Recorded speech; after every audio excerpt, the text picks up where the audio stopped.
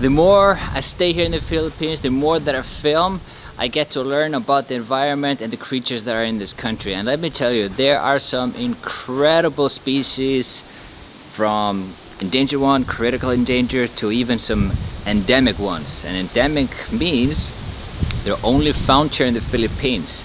So throughout the couple of years here, I've been dreaming of seeing a couple of them and I've also made a go with my YouTube channel here with all the revenue that I make of it I invested back into my equipment and trips to continue my passion which is exploring adventures animals and all those things related so I want to share now the top 10 things that I wrote down that are top of my head that I want to see in the future here in the Philippines. With the pandemic, it's been really hard to uh, do that list, but I think we can look forward to seeing some of them at least in the near future. I think things are coming back to uh, sort of normal and hopefully the borders are gonna open. But without further ado, let's just jump into the list of my top 10 species or animals that I want to see here. Oh, and by the way, if you haven't noticed already, in the timeline of every video that I've been publishing lately, you can click on it and skip to the section you want to see in the video. So if you want to skip to the top three, just click one button and you go there. So if you have limited time on watching YouTube, have to do errands or whatever, this should help you out. And while you're at it, please hit that subscribe button and let's get into it. Number 10, the mandarin fish. This is a bucket list fish that I've been trying to see for such a long time and I just it, it's really hard to find because you one have to know the spot or the area they hide in or live in. So lately I've actually been going around meeting some local guys here that are expert in finding this specific fish. And I've learned some locations, even here in Moalboal, that where they live. And they basically live in an area that there's a dead coral in a shallow reef. And it's dead because the mandarin fish actually spits out a liquid that is toxic and kills the reef around them and that's where they dwell. Now they only come at nighttime just before sunset so you have about 30 to 45 minute window to actually see them. And the whole other daytime or nighttime, they're sleeping inside, so you can't see them. So only in that window you can actually see them come out and make some uh, beautiful mating displays. But more importantly to me, it's the variety of color and vibrance that are on them. I believe this is one of the most colorful fish in the world and there's plenty of them here in the Philippines. So this one goes of course onto my list, number 10. At number 9, I want to see the Palawan anteater or something. I think it's called that, Palawan anteater. And it's probably one you never heard about. It kind of looks like a armadillo, really scaly back and uh, has this tube form nose where I guess there's a tongue that comes out and uh, swipes up the ants on the ground. This one is very unique here and I believe it's endemic only in the Philippines, this one and of course found in Palawan like there's so many species over there that are completely endemic, only found there in the world. And also I would like to mention that it's really hard to find this species without local knowledge. In the past year, the things that I found, it always comes through a local from the ground. They know where it is, they've seen it of course, and they help you find it. So I wanna throw a question back to you guys. If you know anyone in Palawan that is uh, expert in species and endemic ones, please reach out to me because uh, that's a dream of mine to uh, go there, try to find them, and perhaps help out with conservation in that area. That is always something I'm really into. Number eight, we're again in Palawan, and this is the Palawan peacock pheasant. This is the iconic bird of Palawan. It's even on the seal of the Palawan symbol. It is a gorgeous bird. I, am not sure it can fly actually because he has such a big body, almost like a turkey. Small, beautiful head with a massive body, super bluish, vibrant. And of course you can see these ones in the zoo, but for me, I really want to see them in the wild, so that's gonna be difficult. We also talk about later in the video about some species that I've seen in a motorbike. now there are of course species in aquariums and like in Oslob and all that, but every single one on this list is gonna be where I wanna see them in the wild. Number seven, we got the Visayan spotted deer. This cute little beautiful deer is only found in Negros nowadays, I believe. There's a very good organization in Negros in Bacolod. I'll link them down below We're gonna go check them out. This organization is phenomenal. So I'm pretty sure in the future I'll go visit them and uh, we'll try to find this spotted deer. They've actually been helping them reproduce at their organization in Bacolod and they're beginning to release them back into the wild. So that is very inspiring to see. Negros has the most difficulties uh, bringing back the native endemic species because uh, there's been so much cutting down of the forest. I think they're starting to protect it more and more. The remaining areas of Mount Canlaon and the three massive mountains near Bacolod and that area you can find a lot of cool species but the one that I want to see the most is the spotted Visayan deer. Number six is the Melibe colemani ghostliner. I think that's the scientific name for it, but better known as the skeleton nudibranch. This is my number one nudibranch that I want to see, but it makes it number six on the list. And uh, this one is so unique that it's only found in three countries in the world. And out of these three, there's only two known spots where you can see them on regular basis. One in Indonesia in uh, Banta, I think, and then there's one here in Romblon. And this one is like the mother of all nudibranchs that people want to see here that are into diving because it has this craziest shape, this animal. The whole body of it is transparent.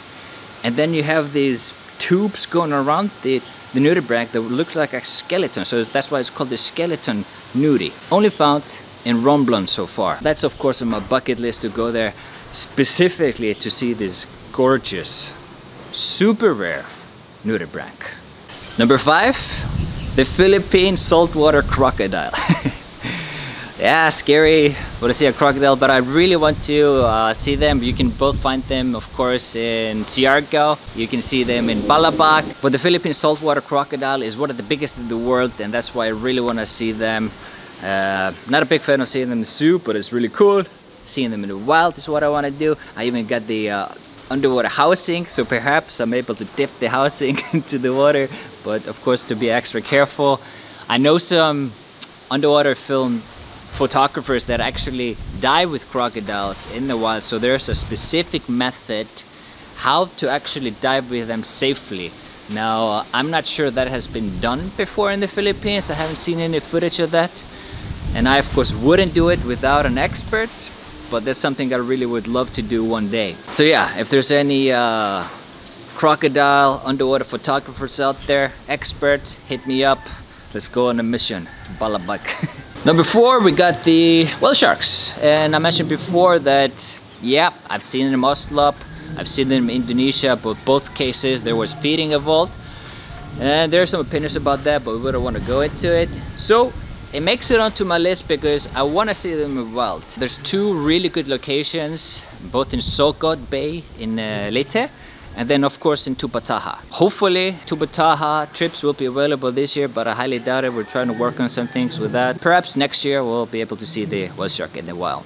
Number three and this one might be one of the difficult I was just about to speak to it's funny that the birds are going off because I'm about to mention the third which is a bird and that is the Rufous hornbill. This is the biggest hornbill that is in Philippines. I think it's endemic one so it's only found here. You sure? It's true? It's only endemic? Right, okay. I didn't know that. He knows. This is absolutely one of the most gorgeous birds you can find. Hornbills are the long uh, beak birds that uh, eat nuts, I think, or some some seeds of very specific trees. So it always comes down to uh, protecting the rainforest. We do have some other very endemic ones, like the Visayan hornbill, Sulu hornbill. So there you have at least three, four hornbill endemic species in the Philippines. So comment below if you ever heard about this before. So I'm just like, ah, oh, I want to see them so badly. And uh, I did see one in Catanduanes with the fighter boys on the road. But of course, it's very hard to get the right moment to film it. You really have to go on an expedition. So that's why I say once again, if there's anyone out there all over the Philippines that's into this type of stuff, hit me up. Number two, I'm not sure if you heard about this before, but we do have whales. Specifically the humpback whales. Okay, wind, chillax. Look at that tree here. Anyways, am I in focus? All right, the humpback whales. There's a migrational season in the country. I think it's between uh, January and March. They go through the Babuyan group of islands in northern Luzon. That's the uh, like five, six islands in between Batanes and Luzon. So they're right in the center there. And I've actually made attempt before to go there. There is an institution that is researching them every year and their migrational patterns. I reached out to them and they basically said, yeah, Finn, you can join us on this expedition. It's like three weeks out there, you know, documenting the humpbacks. And then uh, I was like, yeah, I'm so excited. I'm going, I'll join it. I'll help you film everything. You can have all my photos, all my videos. I'll bring all the camera equipment. But then I found out later I was not able to go into the water.